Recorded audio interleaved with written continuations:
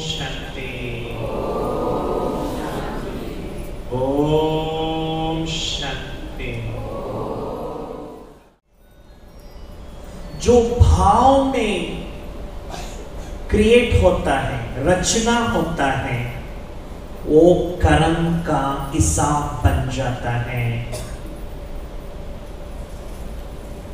ये पाँच इंद्रियों से जो भी अनुभव में आता है समझिए, आपसे मैं पूछता हूँ, हम सबको बाबा मिला। एक कर्म है या कर्म का फल है? कर्म का फल। आप भोजन खाते हैं, वो कर्म है या कर्म का फल है? हाँ? कर्म का फल। किसी को भोजन खाने के लिए ही नहीं होता, वैसा उसका जीवन में संकट आ जाता है।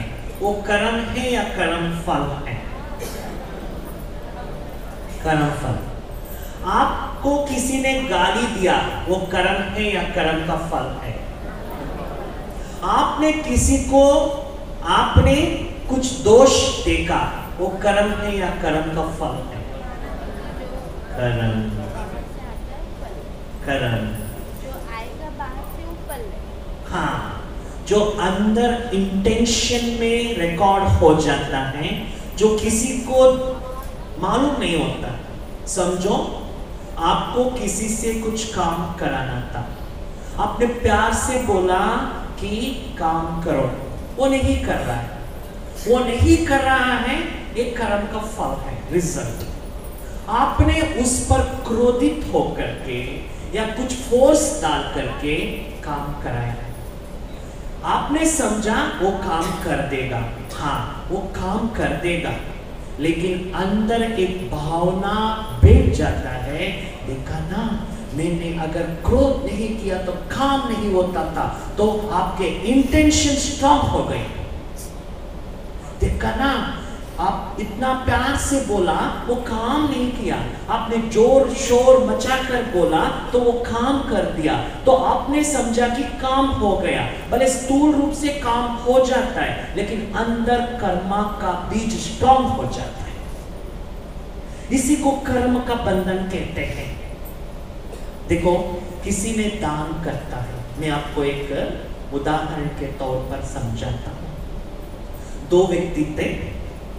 एक मंदिर बनाने में उसने हज़ार रुपया दान किया और अंदर भावना क्रिएट किया, हे भगवान, अगर मेरे पास बहुत धन होता तो मैं आपके इस मंदिर बनाने के सेवा में लाख रुपया लगाता था।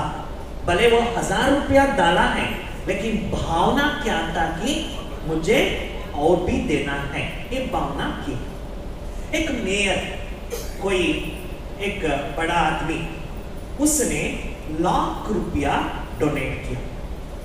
वो डोनेट करते ही सभी उसका नाम प्लेट्स नेम प्लेट्स वगैरह उधर इधर मंदिर के तरफ़ लगा के प्रेस मीट लिया और सभी ने उसको सम्मान किया, सभी ने उसको फोटोग्राफ लिया, सब तरह से उसको सत्कार किया। और उसका जो चपरासी होते हैं ना पता है ना चपरासी? जो ऑफ़िस में होता है उसका चपरासी। वो पियोन कहते वो आकर के बताया साहब मैं इतने साल से देख रहा था आप हाँ, कभी भी किसी के लिए एक चाय भी नहीं मंगवाया? इतना कंजूसी समझा लेकिन आप बहुत बड़े दिल वाला है साहब। आपने एक लाख रुपया मंदिर बनाने में दे दिया है। तो वो मेयर बोलते हैं, तुम्हें क्या पता है, मेरे ऊपर वालों का प्रेशर के कारण मैंने ये लाख रुपया दिया। अगर मेरे कंट्रोल में होता तो मैं सौ रुपया भी नहीं देता भाव भाव वो इसका नतीजा क्या होता है? वो भले अभी जो लाख रुपया दिया है, उसका प्रत्यक्ष फल तो उसको मिल गया। सभी उसको मंदिर जाते हैं तो ये मंदिर इसने बनाया, ये मंदिर इसने बनाया। भगवान के नाम के ज़्यादा उस भाई का नाम जपता है। तो प्रत्यक्ष फल तो हो गया। स्थूल रूप का कर्म, स्थूल रूप में फल आ गया। लेकिन सूक्ष्म में क्या अभिप्राय क्रिएट किया? क्या भाव क्रिएट किया? मेरे कंट्रोल में अगर देने का पावर होता तो कितना नहीं देना?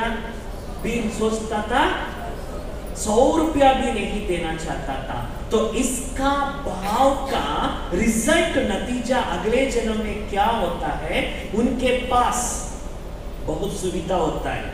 उनके पास सब तरह के भी कंफर्ट होता है, पैसा भी होता है, लेकिन वो पुण्य कर्म में हाथ लगाने जैसा मौका उसको कभी नहीं मिलता है। उसका पैसा कभी भी श्रेष्ठ कर्म में नहीं जाता है। जाना चाहते तो भी उसका हाथ पीछे हटाते हैं। उसका हाथ आगे नहीं बढ़ता है। इसका कौन कंट्रोल कर रहा है? क्यों कंट्रोल हो रहा है? उसको देने की मन क्यों नहीं आ रहा है? उसका दिल देने में क्यों खुश नहीं हो रहा है? पिछले जन्म का बीज अभी पल के रूप में आकर के उसका कर्मों को भुगतान के रूप से उसको खींच रहा है। इसीलिए बाबा कितना सुंदर सिस्टम हमको लेके आ गया। किसी को भी पता नहीं चलता है कौन क्या भंडारे में डाला है। है ना? है ना? इसलिए बाबा कितना सुंदर बात कहते हैं, बच्चे मैंने दिया, ये संकल्प भी अगर दान कर दिया तो आपका पुण्य का कर्म जमा पहुँच।